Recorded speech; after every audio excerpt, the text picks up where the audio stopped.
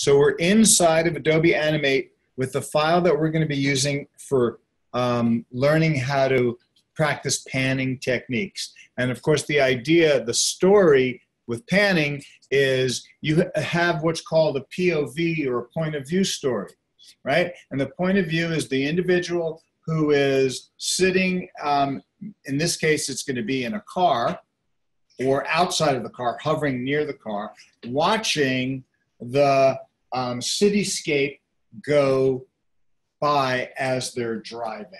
That's the five second story that we're going to create. In order to do that, when you create panning for um, an animation program, by and large, what you have to do is you have to create a set of assets that are larger than your stage. So you'll notice here on there are five layers in your timeline instructions, car, roadway, background, and clouds.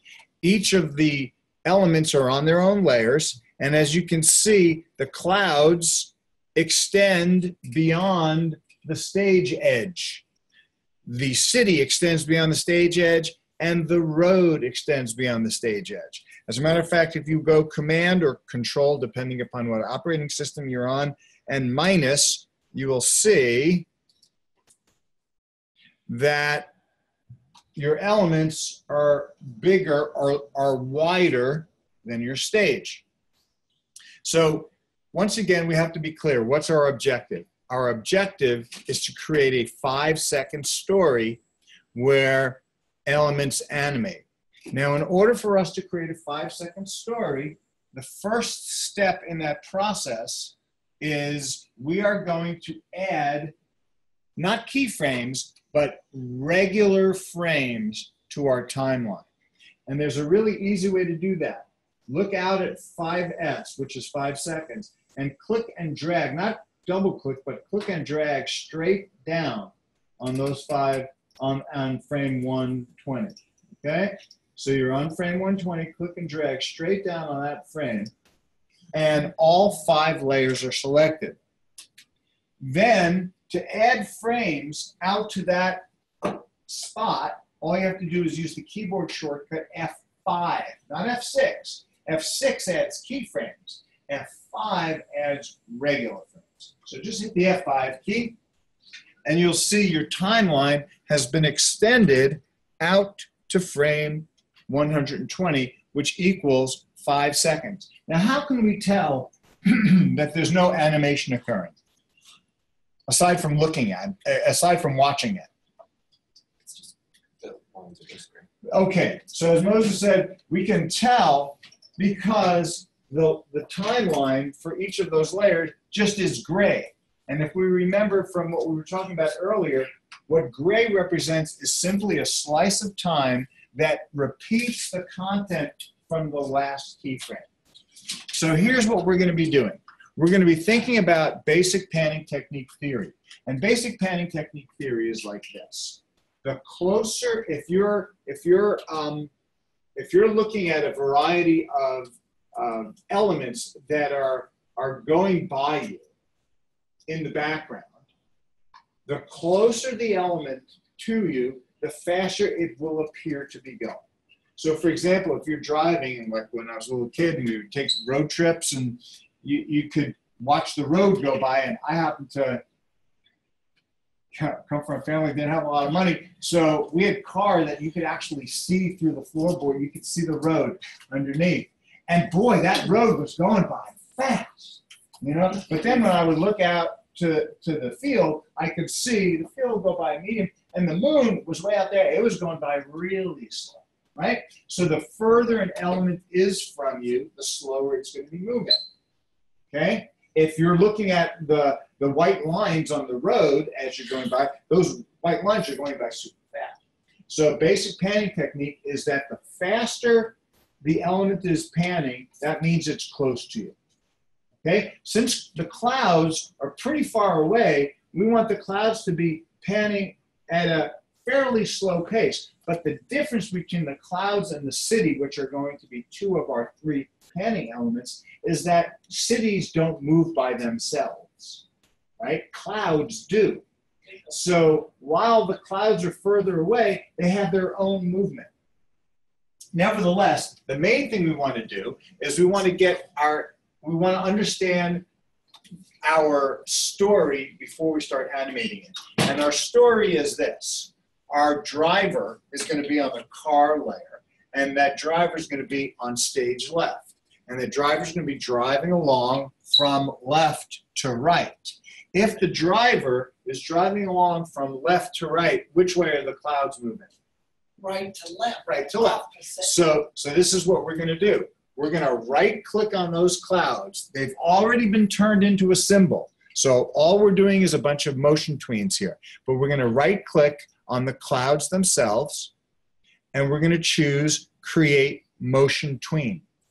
And you'll see your cloud layer goes from gray to blue. Now, our playhead should be on our very last frame. That being the case, what we want to do is we want to get these clouds to move. And you could do it manually by using the mouse and dragging them, but you might shift it along the x axis. And that would be a little weird if the clouds were like jumping up and down, you know, the bouncing clouds. So instead, we want to make sure that it retains its path along the x axis. And the easiest way to do that, rather than dragging, is you could use the keyboard shortcut left arrow. One second, Gabe. Keyboard shortcut left arrow while holding the shift key. Because the shift key and left arrow together will move that element 10 pixels to the left every time you tap it. Yeah, Gabe, question. Oh, I was say that. Yeah, yeah, that's true. The other option is you can hold the shift key down while you're dragging it and you're constraining the path to stay along that x-axis. But I like practicing just going shift left arrow and do it seven times. One, so make sure you got those clouds selected. Your play is on the very last frame and shift left arrow seven times. One, two, three, four, five, six, seven. Okay, and you'll see your animation is appearing right on the screen. We test this by going control enter or command return, same difference. We test, uh, yeah, we can test this and that's what we're doing. And you'll see that it actually creates um, an HTML page with a JavaScript file. So control test. And this is different than what we've been doing up until now because, and we'll talk about this later, but basically what we're doing here is rather than creating a Swift player, which creates this um, file that needs a Flash player to read it, this actually just plays inside of your browser window with the support. So essentially what it is, it's an HTML page, uh, just a regular web page, and that HTML page is connecting to a JavaScript file, which has the programming that's making that happen. Okay, so we're seeing the clouds move. But we're going to be driving by the city. The city's in the background. This is actually the FDR Highway. For anybody who's ever been to New York, that's the highway that's right along the East River. And we're driving along the East River, and we want to see the city going by. Actually, uh, from from the location that we're at, it could be, you know, we're actually in New Jersey. I like you. We're in New Jersey Oh, oh, and we're seeing the, the city in the back. So, um, and believe me, nobody really wants to be in New Jersey. Okay, we're so- trying to get to New York. now that's right. That's that's the positive way to look at it, Chris. We're trying to get out of New Jersey into New York. We're trying So, to get to- we- Yeah. We go back to animate and we choose our timeline because notice what it does when we use this program to create this HTML um, page, it keeps on making output window pop up and we just don't care about that right now. So we go back to our timeline and this time we're going to select our city. And then we're going to right click on our city and we're going to again create a motion tween. and making sure that our playhead is on our last frame. This time we're going to go shift left arrow three times. If you do more than three, then the city starts um, disappearing. Right. So this is this is a good example of why it's important to when you create a scene, make sure all of your assets are larger than your scene. Right. So we go shift left arrow, and you'll know you know what's going to happen when we do that. But now we're going to do our last element, which is the roadway. And the roadway is the closest element to us. So we need to see that moving more. So let's select our roadway. Right click on your roadway.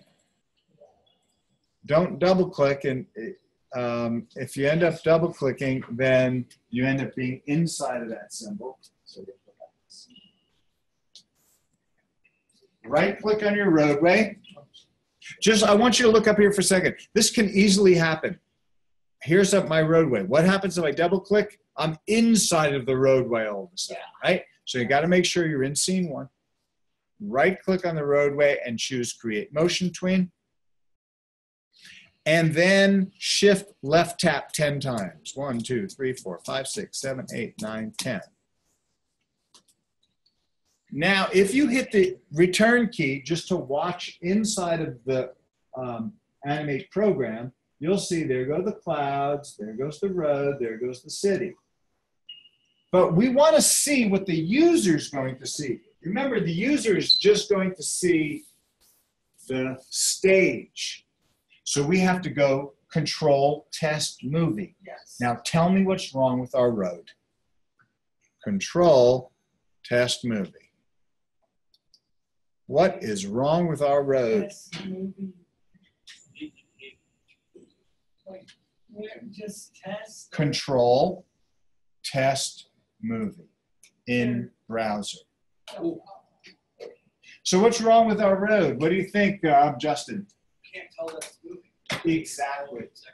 You can't tell that it's moving because the black looks the same and that white line looks the same. So what we have to do is we have to do a little edit. So here, let's go back to Adobe Animate.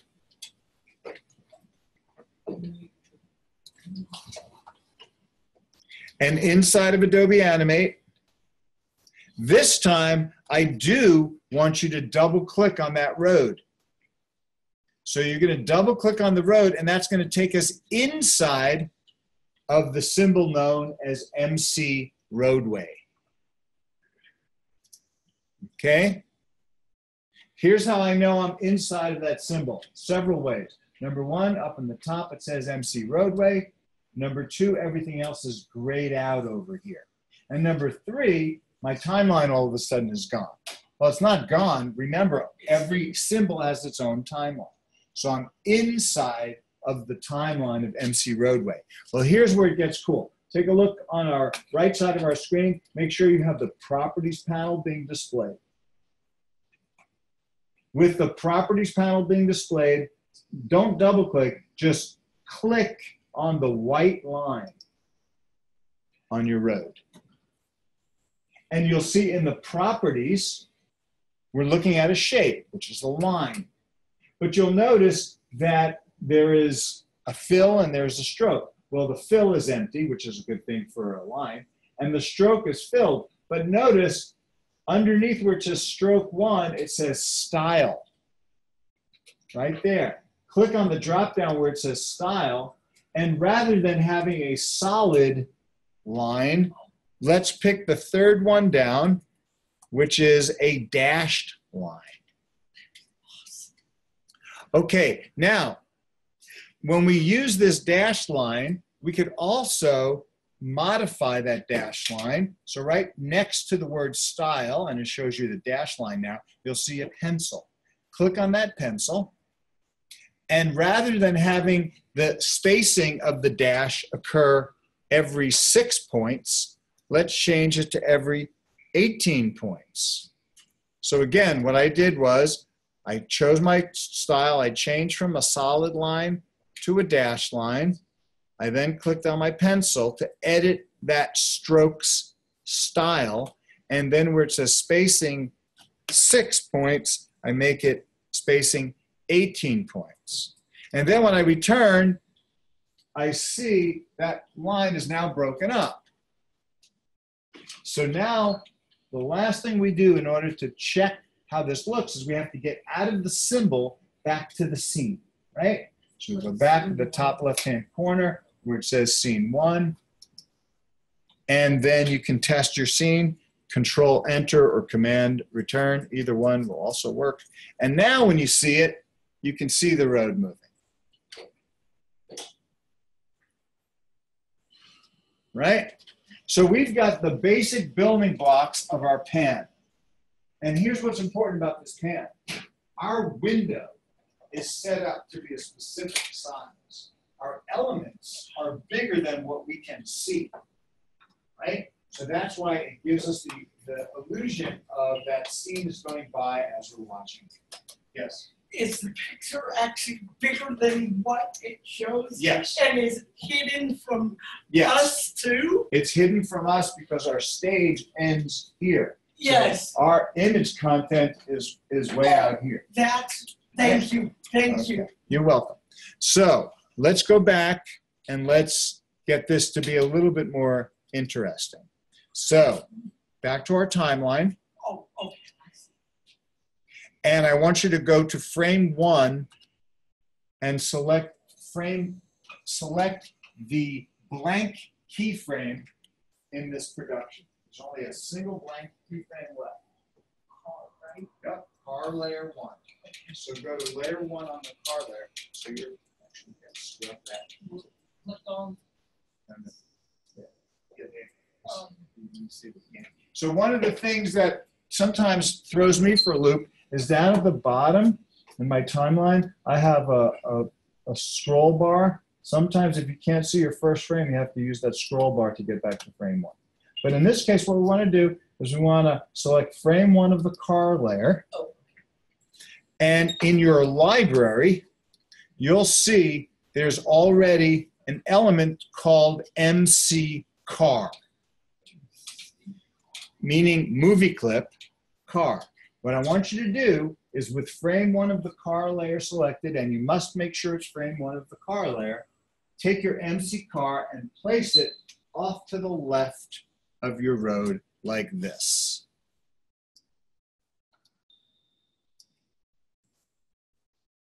So now the car, now the car, MC car, is on frame one of the car layer. Is the car layer animated? No. Okay, so let's right click on the car and say create motion tween. Now drag your playhead to frame 120 and drag the car off stage to the right.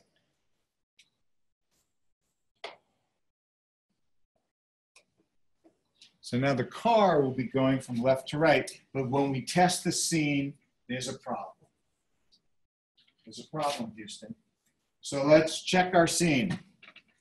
Test your scene. And what's the problem here? We've got our road fixed, and we have the perspective of watching the car drive.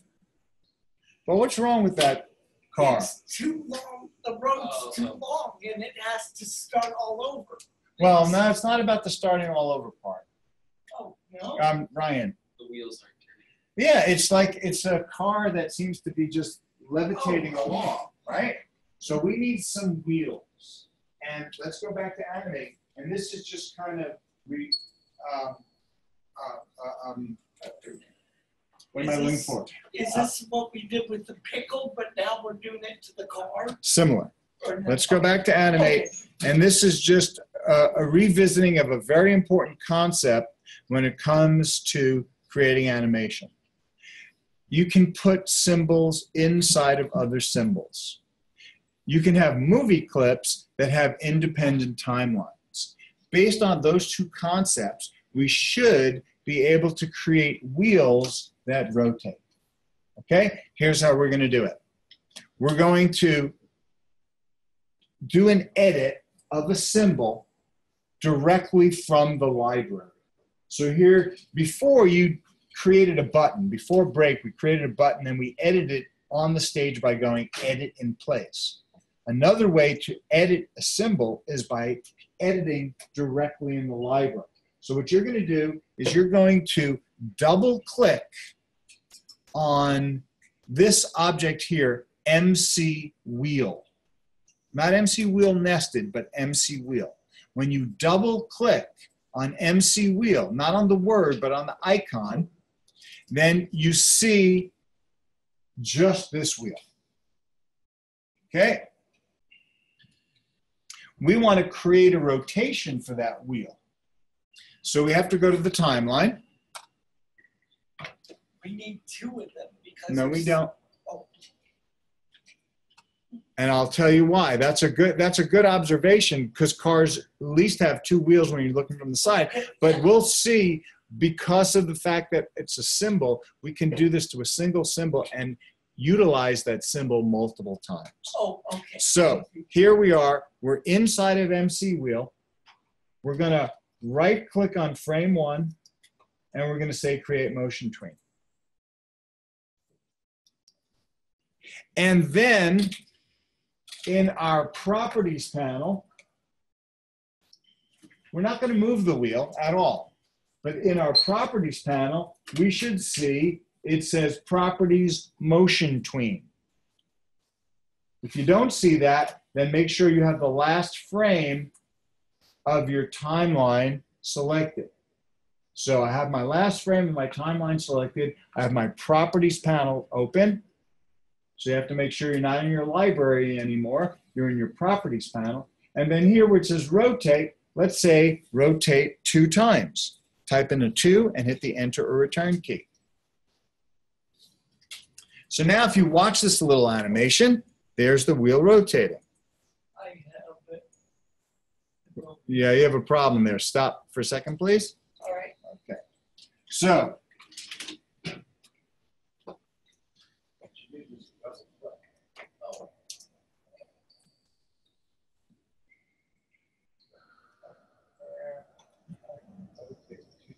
Oh, Okay. yeah.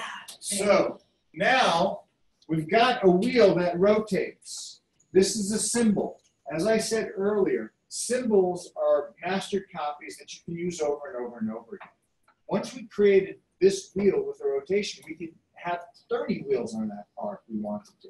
So we can have a big rig. But in this case, we just have the Volkswagen. So here's what we do. We go back to our library, and this time we double click on MC car. Again, we're going to edit, but this time we're editing the car. So I go back to my library, I see MC car, and I double click on the icon MC car. And you'll notice that this symbol, MC car, already has two layers. It has a car layer that's locked, and it has an MC wheels layer. Now, all you have to do is go to your library and drag two copies of MC Wheel onto the wheels layer and line them up on top of those wheels like this. So watch here. Here's MC Wheel. I have frame one of the wheels layer selected. I drag MC Wheel here, and I can use the arrow keys to adjust it. And I can drag another copy of that same symbol here. Because of the fact that these are symbols, they already have an animation built inside of them. They're both going to be turning. But here's the other interesting thing, and this goes back to what I talked about at break time or before break time when we created that pre-built bouncing ball. I talked about the fact that movie clips have independent timelines. This symbol, this car, only has one frame. But the animation of the wheel takes 24 frames, but it doesn't care because it's a movie clip, it'll just keep on spinning. So, our last thing to do, make sure you get your wheels. So, you, get, you should have two wheels, both of them on the wheels layer of the MC car symbol. So this is really reinforcing the idea that symbols that have their own animation inside of other symbols are what makes animations work. Okay, so here's where we stand. I've got MC wheel. I took two of them. I put them on the wheels layer of the MC car. My last thing to do is go to scene one. And it's I already put it there. So let's see if it works. Control test or just command command return or control enter. And there it goes. So you have to go back to your scene though before you can, can control enter. Yeah. And test your scene. And there go my wheels. The wheels on the Volkswagen go round and round.